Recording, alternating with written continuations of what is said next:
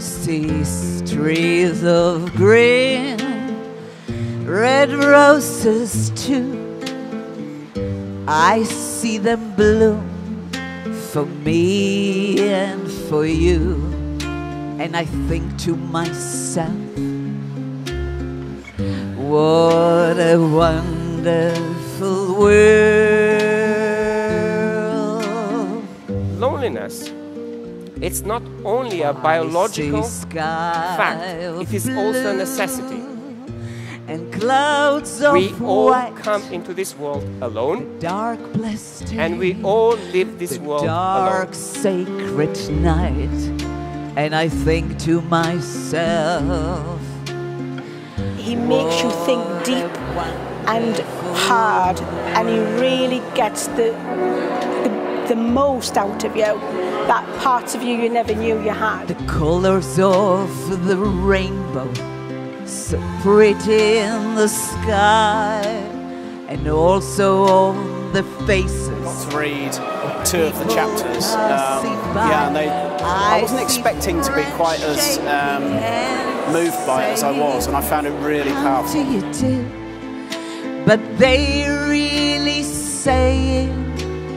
I love you. Loneliness is everywhere. But our human awareness barely grow. recognizes it. They learn much more than I'll ever know. And I think to myself, So I think this book, which demonstrates what he has been through, is going to help a lot of people to find that comfort within themselves.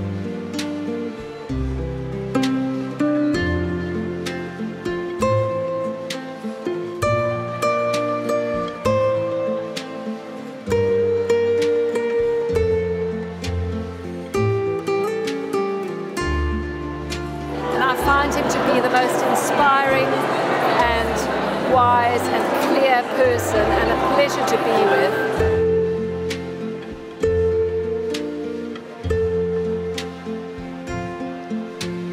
the colors of the rainbow, so pretty in the sky. Tony Selimi, without a doubt, not only gave me my life back, he People saved my life. passing by, I see friends shaking hands, saying, How do you do?